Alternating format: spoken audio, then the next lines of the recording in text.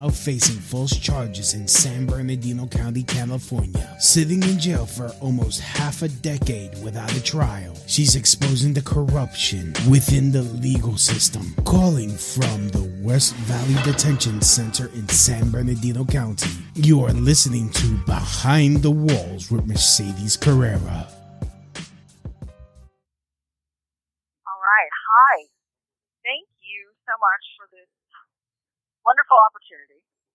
Uh, it's kind of a continuation of yesterday. We were talking about. I I want you guys to understand that I am not safe in here. Um, I deal with a lot of envy, a lot of it, a lot of envy, and it's interesting because being a porn actress is kind of, you know, it's not really. I'm not really a celebrity, like not really, right? But in jail, there's kind of there's a lot of women in here who are they wish they were porn actresses, and a lot of these women are. Uh, it's it's strange how much envy I deal with from these women. I really I want good things for people. I am not an envious person. I have always tried to be supportive of other people. So I've always kind of carved my own path in life. And there's I forget which philosopher said, uh, man is man is a wolf to man. Maybe you can look that up. What man is a wolf to man? There's a philosopher who said that. Well, It, it, it kind of reminds me of the uh, Bible quote: "Man will, man will rule man to his injury." okay, yeah. Well, it, there's a there's a philosopher who said man is a wolf to man. So woman is a bitch to woman. That's what I have to say, right? Women are absolutely terrible to other women. Women are worse to women than men are to women. And this is, you know, I've, for years I've said this. I've, you know, I've drawn the ire of feminists online for years. But I'm in this environment where I, I really um, get a lot of shit from a lot of women. Uh, I have this one, one, one very ugly, very ugly woman in particular in here who just has does everything she can to turn the women in here against me because she's so jealous and so petty and so spiteful. I feel like I'm living back in junior high school, and it's really a problem in jail because these women are so dangerous and they're so violent and they're so volatile and so mentally ill. And it's one thing to have to deal with it from the inmate, but now to deal with it from a deputy. Um, I I told you about this yesterday. I have now a deputy who's actively got it out for me. You know, I try to be pleasant to her. I try to say good morning, how are you? She stonewalls me. I have I have an idea as to why this is. She used to work nights. Her partner, who is a male, who's I was always, I was always pleasant with everybody. I was pleasant with him. I, he knew who I was. She obviously had the haunt for him. Now, here's a problem in the jail. A lot of the young female deputies treat this like it's college. They come here to date and find a husband. Now, that's a real problem. Yeah, they, they think this is like a big frat house. And they spend all day flirting with their colleagues. Now, there's a reason that women were barred from these professions traditionally. Now, I'm not saying all the female deputies are like that, but a lot of the young ones are. A lot of the female deputies in their 30s are excellent. But a lot of the young ones are just absolutely terrible. And this one in particular, Carrasco, she has it out for me. I think because her prior uh, colleague, she, you know, she really wanted to date him, and you know, he blew her off, and so for some reason she attributes it to me. I'm an inmate. I don't want to be here. I have nothing to do with this. And now, and so this has become an incredibly unsafe environment for me because now not only do I deal with the ire of these really horrible women that I'm forced to house with and I'm forced to be around. And, you know, I tried to get a minute order to be separated from one of them that is particularly hostile to me, and the judge would not give me the minute order that I was told to request, saying that it was against due process. Yet holding me in jail and not allowing me to go to trial, that's somehow due process. Does that make sense? Absolutely not. Right. Okay. Um, but here's the problem. These deputies are in charge of my safety and well-being. And yet I have one that has a personal vendetta against me. Who's picking on me about socks. Now, I will tell you, there's other female inmates walking around without socks. I can look into the other tanks and see males walking around in t-shirts and boxer shorts without so much as a reprimand. And yet I'm being threatened with discipline for not having my socks on while my feet are wet, and I'm allowing them to dry, even though they're in my pocket. This is obviously targeted harassment, and it has to do with my profession. Um, so this is an unsafe environment. They're supposed to provide me a safe environment. I've never, ever had so many problems in my life. I have a tremendous amount of empathy, tremendous amount of empathy for kids who are being bullied at school now. I really do. Because I understand what it is to be bullied and harassed by violent people and not be able to leave.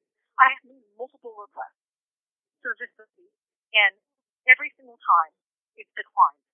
You know, I've asked to be separated, I've asked to be put on a separate tier, I've asked to be put in the hole, to no avail. They're doing this to me on purpose. They're putting me in an unsafe environment on purpose. Now, I'm, I'm being quote unquote guarded by somebody who has a personal vendetta against me. This is by design.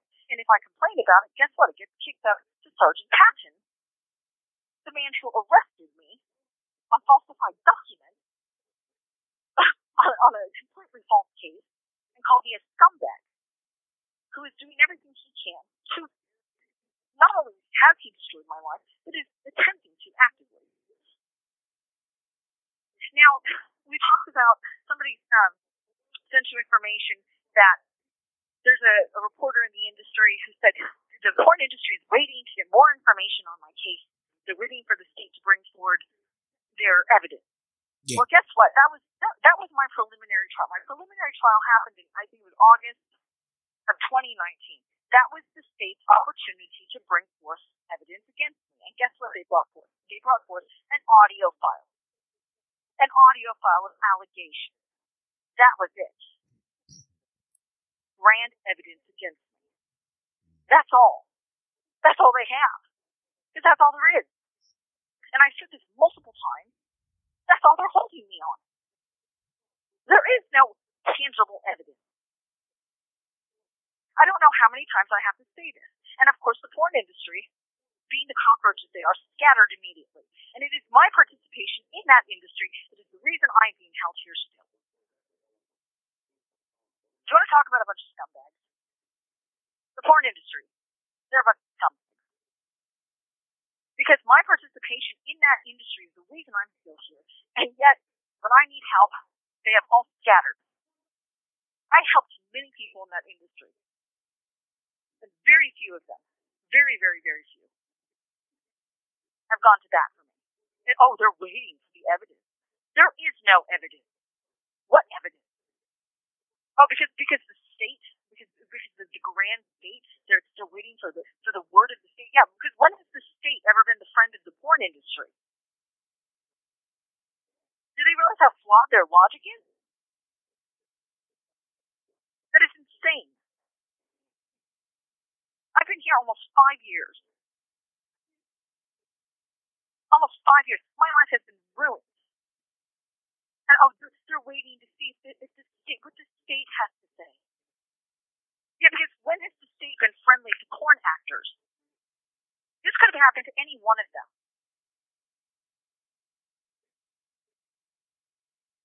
And now, oh, they're waiting to see what the state has to say. Not realizing, by the way, at a preliminary trial, the prosecution has an opportunity to come forward and say, well, we're going to present this. And it just has to meet the litmus for trial. Now, in San Bernardino County, all that means is that there needs to be allegations. That's it. That's it. That doesn't seem like enough. I mean, yeah, I mean, I know. On t- on the TV, the Law and Orders, you, the burden of proof is there. There has to be a lot of burden of. There has to be a lot of proof. And that's the problem. People watch television and think that television is reality, and it's not.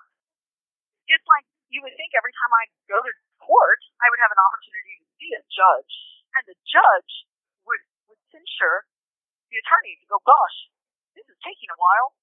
But they don't, because judges are former prosecutors. I'm yelling at a tidal wave.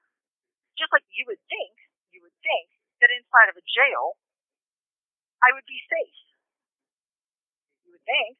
But hey, let me remind you, in LA County, LA County, just the county over, which is actually ostensibly a better county because they offer zero dollar bail and they don't hold people for years and years until trial. They were still caught abusing inmates inside the jail. This just happened. And San Bernardino County is much, much worse. Much worse.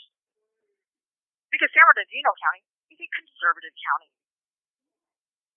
So according to people who are in charge of San Bernardino County, they don't want people like me in their county. And you would think that the porn industry would say, oh gosh, you know, here's one of our own. There's, there's no evidence. There's, there are allegations. There are allegations against her. That's it.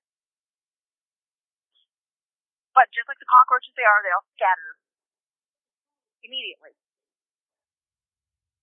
And they've left me here to rot.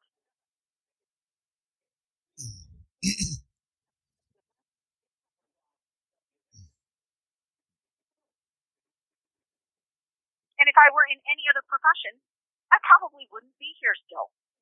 That's the irony.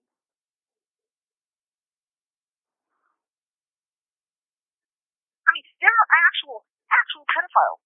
They get arrested in this county. A lot of them are teachers because guess what? Pedophiles like to work with children.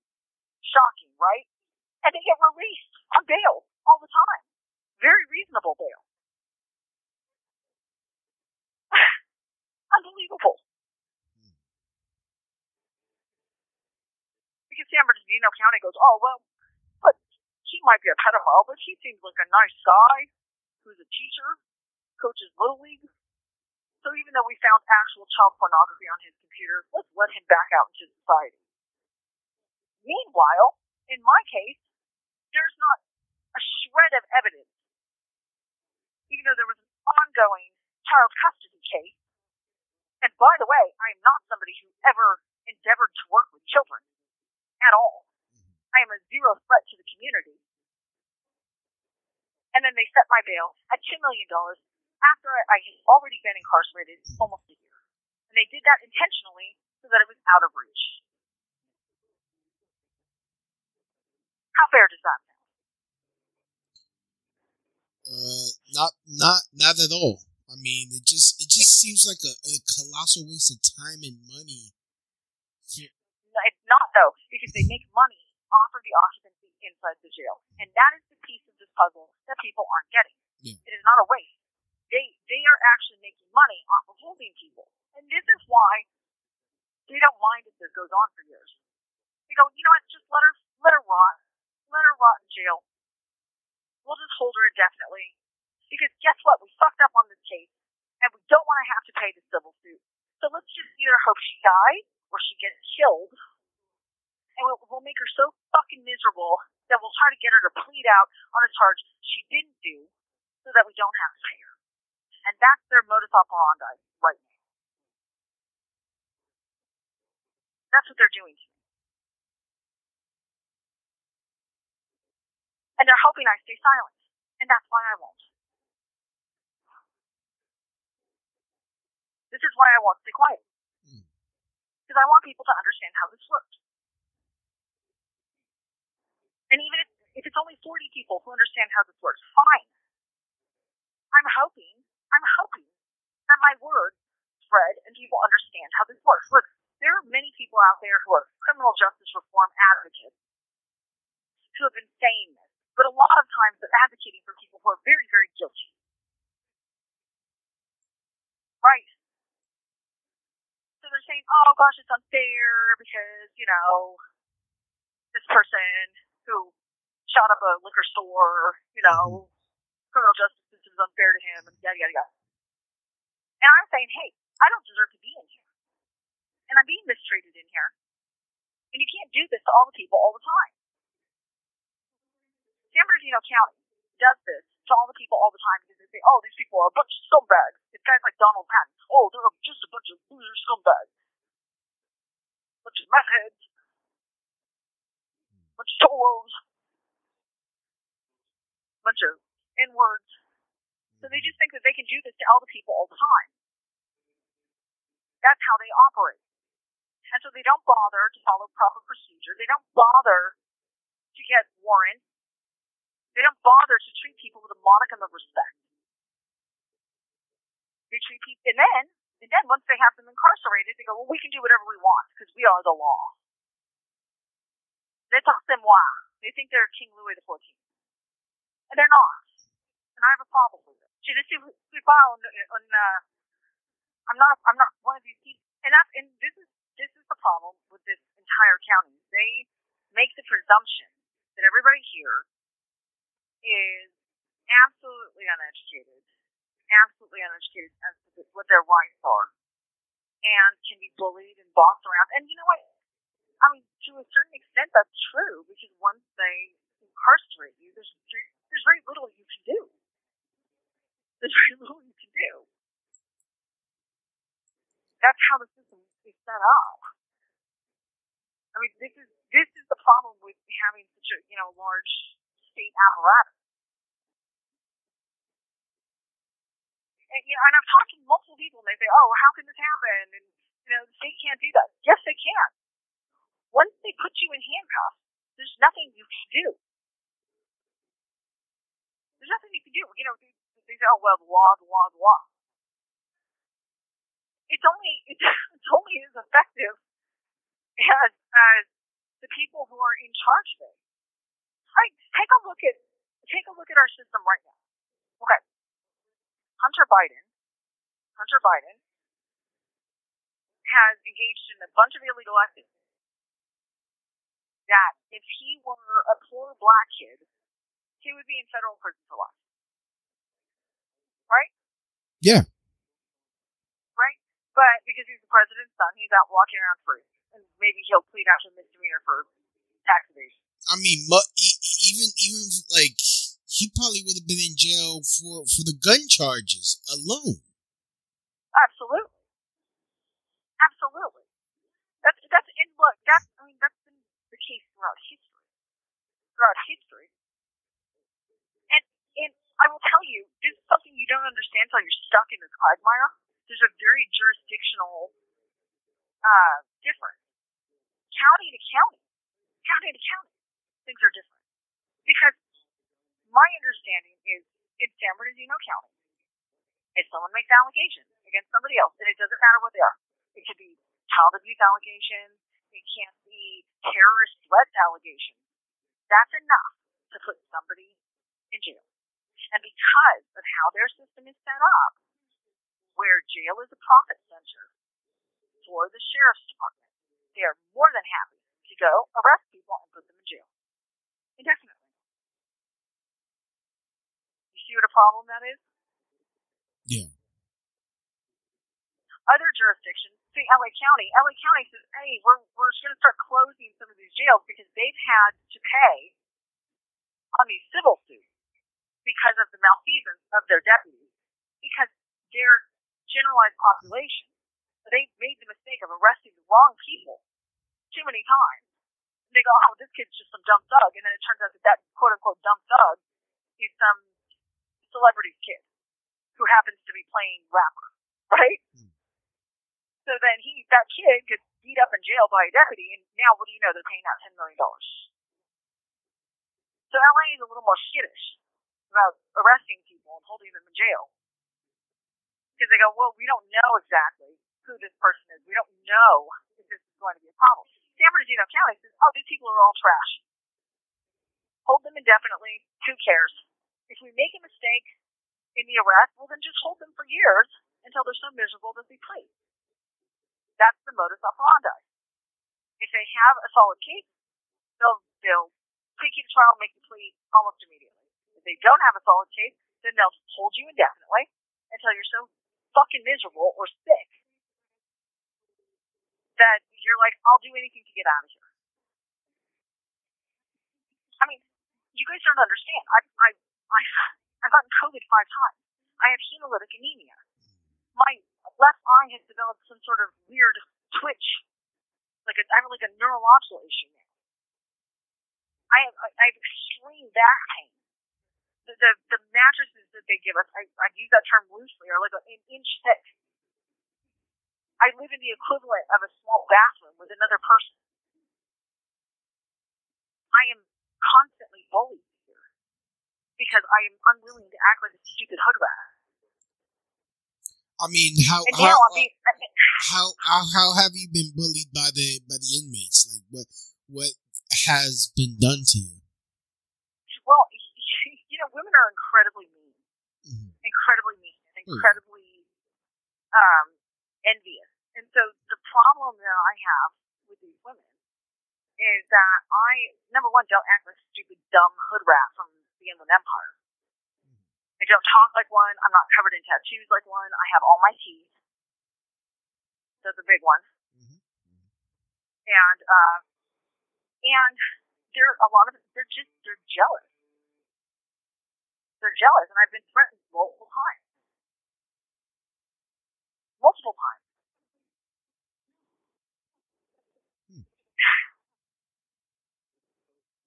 Or, I mean, like, what would uh, like as someone that has been bullied growing up?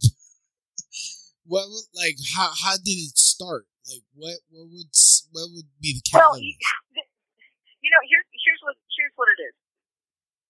There are some of the girls who liked me and Mhm. think it's I'm cool, right? But there's one in particular. Mhm. She's a very unattractive, dark-skinned, uh,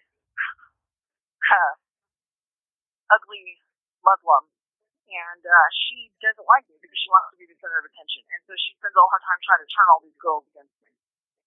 And that, and so, and all you need is one or two of them do that. It's like I'm stuck in hood rat junior high.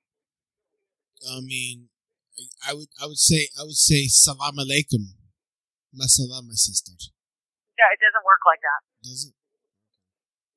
Oh no! Like, I look, I've I've done everything I can to try to be nice to that person and to all of them here, Mm-hmm. and it doesn't work.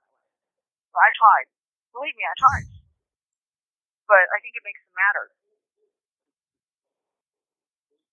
I mean, it you know, it and that's that's the thing. I you know, I'm dealing. Keep in mind, I'm dealing with trash. These are these are people who are just trash. They're uneducated trash, and you know, when you're when you're nice to people like that, it makes them even more mad.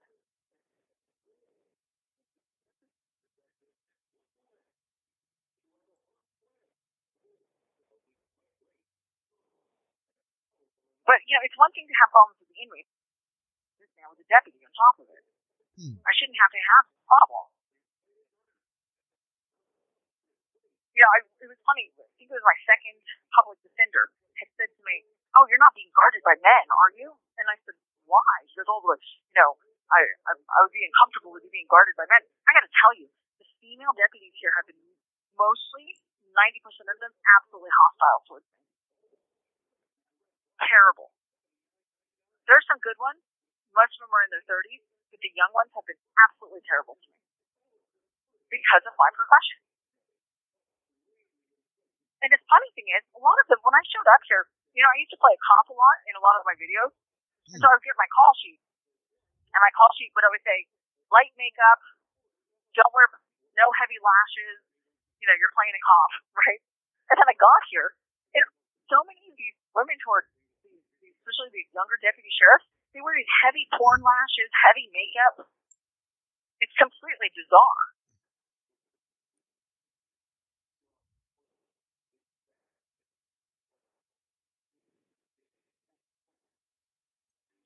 Hmm.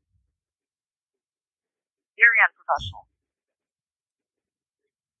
I'm surprised no one's coming up to you for makeup tips. Then No, I think that's I think that's part of why they absolutely hate me. You know, it's like there's like this weird inversion where they wish that they had my job and they're choosing to be cops instead. I mean, they haven't all been terrible. There's, you know, like five or six that have been decent, or a couple of those that have been great. But for the most part, I, shouldn't have to deal with this. I'm just sitting here waiting, trying to clear my name in this extremely corrupt place.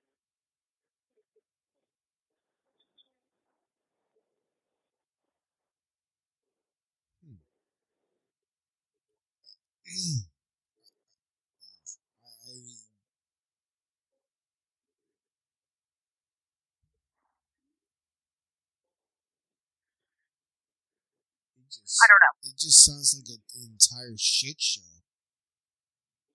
A what? A, a shit show. It just it just sounds like a, a Oh, it's terrible. It's terrible. It is absolutely awful. It is absolutely corrupt. It is absolutely terrible.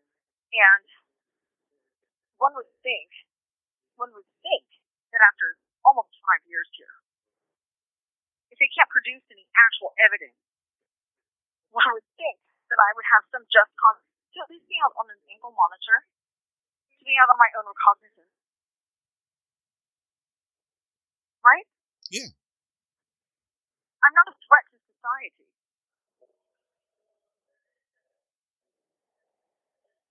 At all.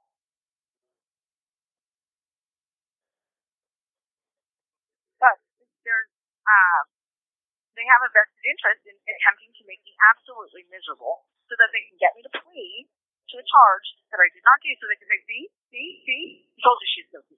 See? And I won't do it. I will not.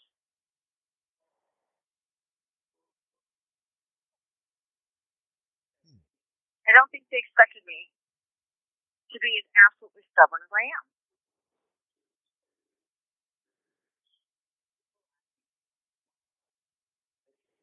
Because a lot of the inmates here go, oh, well, you know, prison's better. Oh, you get multiple sets of clothes. And, oh, you get to see bunny rabbits. You get better food. Yeah, yeah, and I'd have to be around 5,000 of these idiots. Are you kidding me? Oh, but you get to take classes. Oh, oh boy, I get to get an associate's degree from a community college online. Wow, that sounds amazing. I get to get, get it in underwater basket weaving and Chicano studies. It sounds so great. Yeah, right. I mean, if there was ever just cause to take fentanyl, it would be that. I mean, most of these people have absolutely no. They're they're not they're going nowhere fast anyway. But I had a life before this.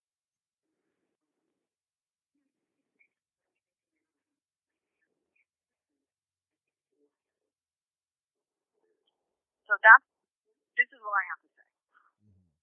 And I and I want and I want the industry to understand that if they're waiting for some sort of smoking gun evidence, that they're going to be waiting for a long time. It isn't? And how dare they? How dare they? Because I was the one, I was the one in the industry that was always helping people. And when I need them, they're all absent. The only person, I think the only person that really has actually gone to bat for me is Jessie Dubai, and I love her. God bless her.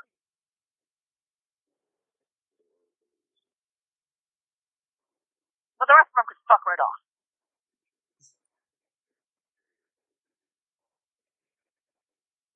And that's how I feel.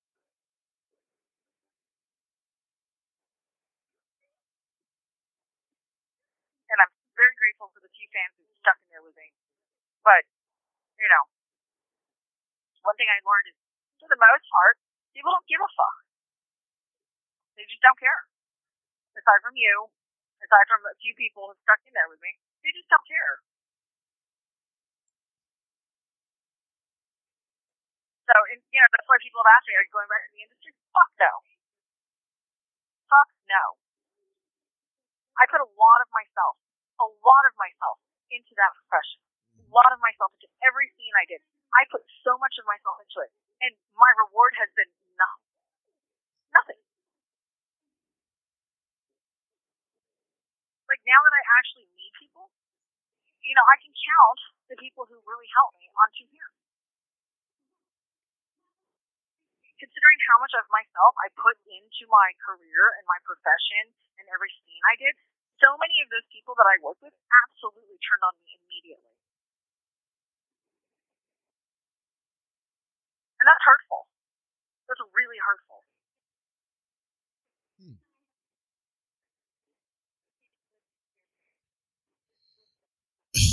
I'm sorry. That's it's not your fault, but that's you know that's something that's something to say for the record. That's why a lot of the girls come out of the industry so bitter, so bitter.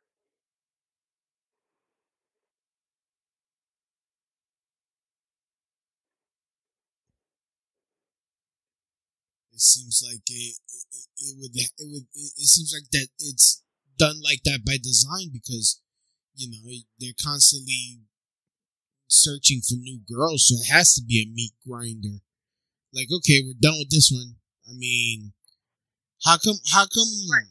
I mean that that's the thing I don't get. I mean, with with every with, with some of the porn stars that that come out or porn actresses or actors that come out like jaded and whatnot. What makes what makes a Nina Hartley, a Sara Jay, and Ava Devine just stick on? They just hang in there. Yeah. They hang in there. You know, I mean, look, like there's there's kind of an ebb and flow to the industry. Mhm. So you know, if you're willing to continue making your own content, putting it out, there's a lot of platforms that you can put your own content out, and you can keep doing it. I, I was working like crazy. Like, so, so when I got arrested, I had a whole month booked in February. I was arrested February 1st. I had that whole month was booked solid. I was working like crazy, even five years into my career. So I wasn't having any problems working. Um, there's, that's the thing. Like, there are actresses with longevity you can stay on top of that and you can work. It's a meat grinder for the girls who kind of come in and think it's going to be an easy job. I think they're going to just, you know, be able to just lay there and, you know, come in and do drugs and party and it's easy. It's not. It's work. And if you put a lot of yourself into it, you'll get a lot out of it. And that's what I did. I put a lot of myself into all of my scenes. I worked hard. I went to the gym all the time. I stayed on top of my fitness. I was really on top of my performance art. And then this catastrophe happened. And part of the reason it's still ongoing was because of my career. It's because of who I was in the outside world and you would think the industry would support me, and instead they've just abandoned me. And that's that's what pisses me off.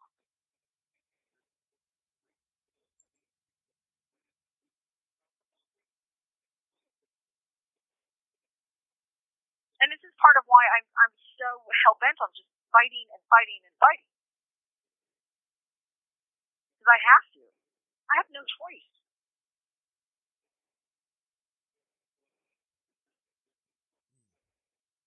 So when you do come out, um, it's a it's a it's when not if. Uh, yeah, I know I know how much you hate when when I say I have faith. Uh, Uh. but but I but I do. Yeah. Yeah. Uh, are you gonna are you gonna go after the industry and just start exposing them? Well, I mean, you know, I think they do a good job of exposing themselves. To be honest. That's um, pun not intended. but I'm Tish. They do. They do. I mean, you know, they they do a good job of exposing themselves. They're in their own actions, what they're doing, how they behave, what they support, how they are with people.